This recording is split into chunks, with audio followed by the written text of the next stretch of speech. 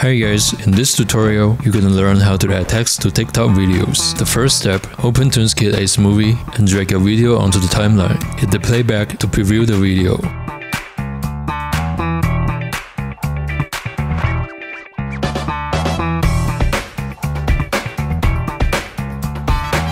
Second step, go to the left menu, click text and drag a text on top of the video track.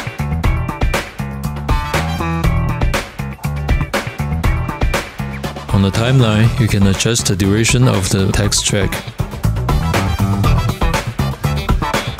Then go to the top right panel, enter the text and do some adjustments.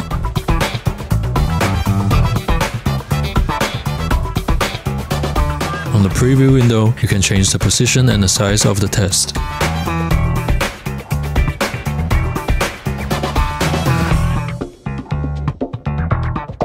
And also, you can choose a color for your test.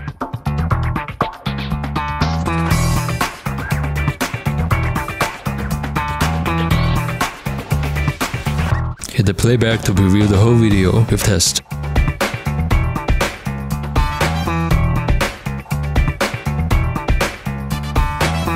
When you finish editing, click export to save the video to your computer and share it on TikTok. That's the end of this video. Thank you so much for watching. See you next time.